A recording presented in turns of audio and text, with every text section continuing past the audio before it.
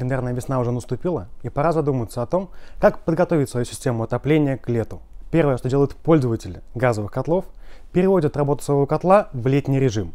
В таком случае котел греет только горячую воду, а отопление отключено.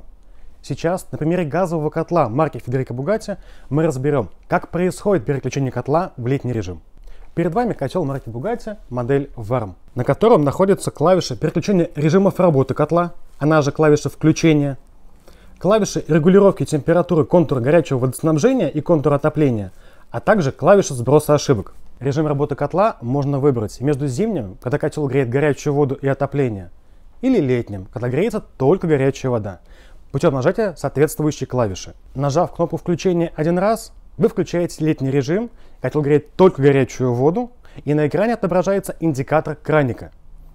Нажав клавишу включения два раза, вы включаете зимний режим, котел греет горячую воду и отопление, и на экране отображается индикатор краника и радиатора. Нажимая клавишу последующие разы, вы последовательно переключаете режим «Выключено», «Лето» и «Зима». Если у вас в доме установлен водяной теплый пол, то для его использования летом рекомендую использовать зимний режим работы котла. В таком случае, по команде комнатного термостата, если он у вас установлен, котел включится на подогрев теплого пола. Но при одновременной команде контура горячего водоснабжения и отопления котел приоритет отдаст контуру ГВС.